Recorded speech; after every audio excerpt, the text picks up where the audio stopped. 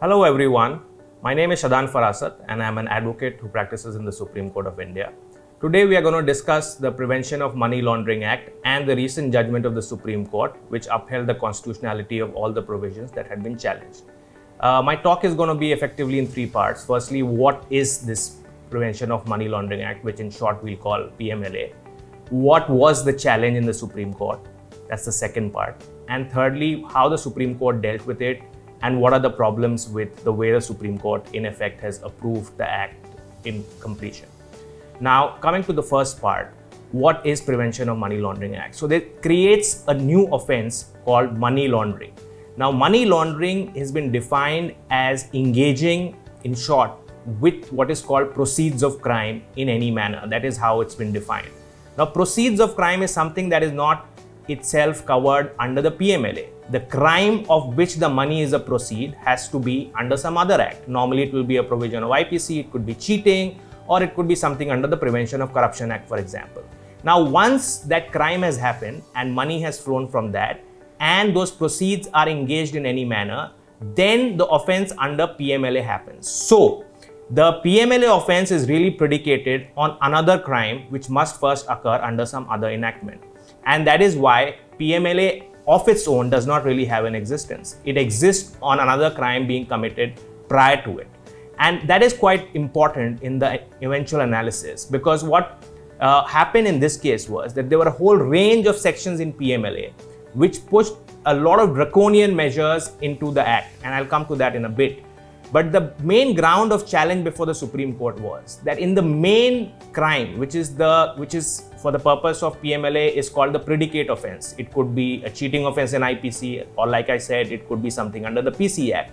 Now, for predicate offense, all the criminal procedure, normal procedural safeguards to the accused are available. Normal bail is available. There is no reverse burden of proof. There is no uh, self-incrimination. That is, the right against self-incrimination operates fully you have a right to a copy of FIR. So all these requirements are fully complied with. But when it comes to a offense which is a consequence of the predicate offense, that is offense under PMLA, there is, you know, all these rights are just not available because they have been taken away by statute.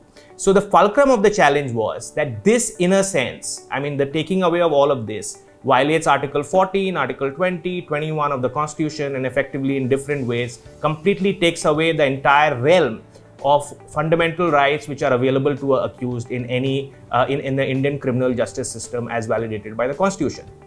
And uh, in this respect, what was the specific challenge? Uh, I will just sort of put it in a nutshell. There were five major points.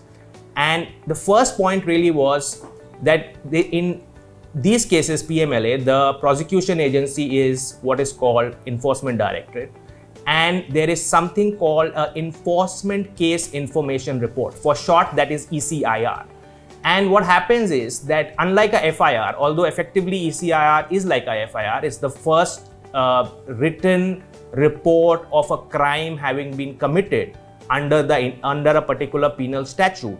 Uh, the copy of ECIR is never given to the accused. In fact it is not even clear whether if your name is there in a ECIR, you are an accused or not, because there's something subsequent which is a complaint under the PMLA, which is really speaking equivalent to a charge sheet. But the way the prosecution agencies have argued is ECIR is an internal document and complaint is when really the proceedings begin. So in this phase between your filing of a ECIR and the complaint, a person who's an accused can be an accused, but he wouldn't know if he's an accused. He can be summoned by uh, the ED.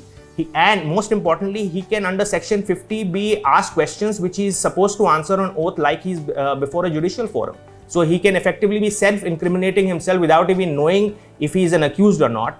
And uh, you can understand the levels of constitutional law problems with a provision like that. So that was uh, part of the challenge that this whole ECIR business when combined with some of the other provisions like section 50 which effectively allow the officer to make you incriminate yourself uh, is complete giveaway of all the constitutional protections which are available under part 3 of the constitution to a accused.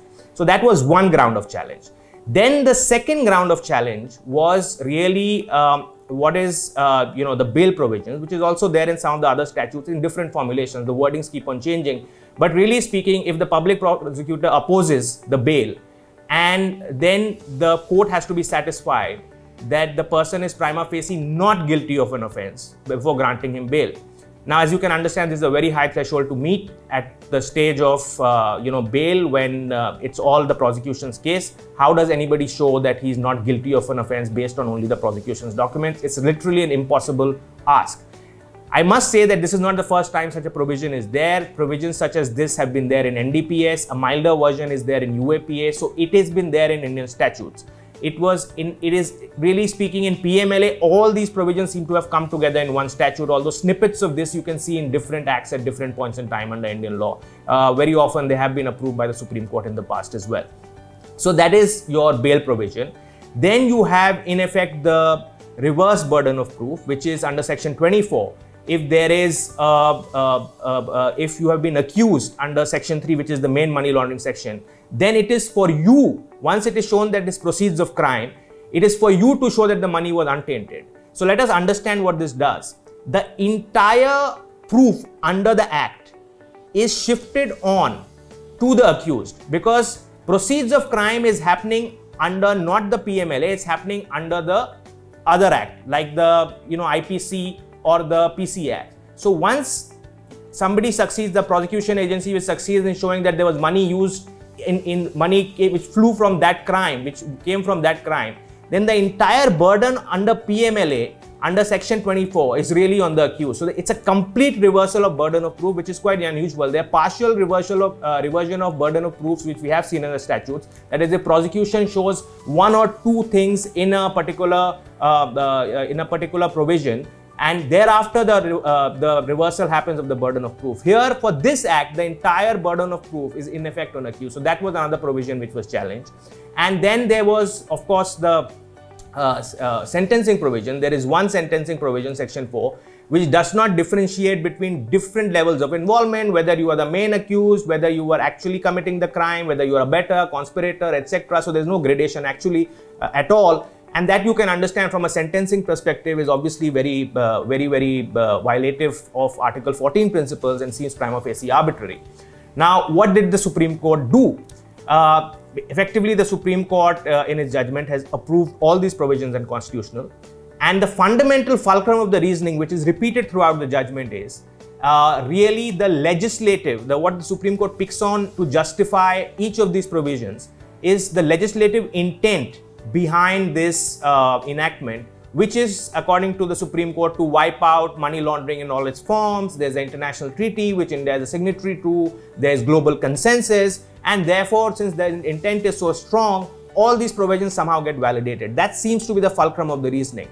Uh, the problem with that reasoning, really speaking, is that legislative intent can only be a beginning point of a constitutional analysis. It can't of itself be an end point of the analysis. It can give you that a basis that, okay, state had a legitimate basis to enact something. But whether that enactment then is in line with due process constraints put by the constitution will have to be specifically tested against those constraints as evalu- as as espoused and you know developed in different judgments, be it Article 14, uh, 20, 21, etc. Now that kind of th- that analysis is really, um, for most part in the judgment, is just missing. And therefore, what has happened is that the Supreme Court in this judgment has, in effect, elevated the level of legislative intent to uh, to a level, uh, the the principle of legislative intent to a level where it really stands as a, a mechanism which can validate any provision as constitutional, irrespective of whatever due process defects which may be there in that act. And here you can imagine, I mean, just imagine a person who doesn't, who's been arrested, uh, who doesn't know what is contained in the ECIR, who may have been given some basic, uh, you know, uh, charges of arrest, but he doesn't know what is there against him in the ECIR. He doesn't even know if he's an accused. He is being made to sign uh, documents on oath, uh, and he will have to prove himself innocent at trial. Now imagine that effectively violates every canon of principle of fairness in a criminal prosecution, as we've all learned right from law school onwards to in the profession. But by using legislative intent as the basis, the Supreme Court has broadly validated this completely. And I think that is hugely problematic because that effectively turns the law on its head. And as I said, legislative intent can only be a beginning point of analysis to give a court uh, understanding that, okay, legislature had a reason to act it. But whether it is proportional, whether it is arbitrary, whether it actually is completely takes away any semblance of balance of a fair trial, those are all aspects which will have to be independently examined from a real world perspective, which unfortunately in this judgment, the Supreme Court has not really done. So I hope um, because with this judgment, the, the enforcement directorate is uh, quite well armed now uh, to go ahead with the kind of things we have been seeing around. So I hope that this judgment does not uh, uh, stand uh, as valid law for too long. Hopefully that, you know, in not too distant future, Supreme Court will see the kind of problematic uh, uh, uh, chain of events which a judgment like this will lead to and hopefully will correct what in my view and respectful submission is clearly an error. Thank you.